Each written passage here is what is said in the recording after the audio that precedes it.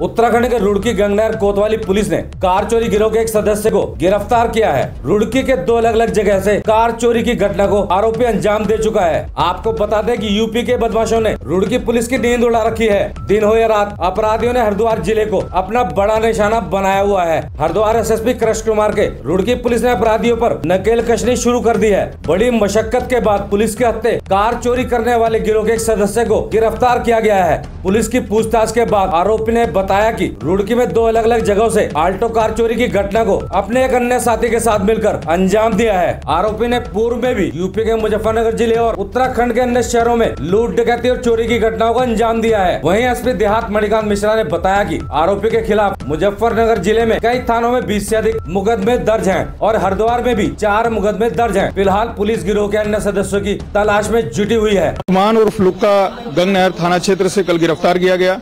इसे आज न्यायालय के समक्ष प्रस्तुत किया जा रहा है। इसमें देहात क्षेत्र के रुड़की और गंग नहर से लगभग चार मुकदमे दर्ज हैं वाहन चोरी के, जिसमें एक अल्टो कार इससे पूर्व में भी बरामद हो चुकी है और इसने, इसके जो साथी हैं, दो, उनका भी नाम बताया है।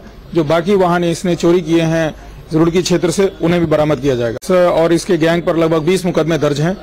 उनके विषय में और जानकारी ली जा रही है कि किन किन क्षेत्रों से इसके इसके ऊपर मुकदमे दर्ज हैं। क्राइम स्टोरी के लिए उत्तराखंड के रुड़की से संवाददाता अली जैदी की रिपोर्ट।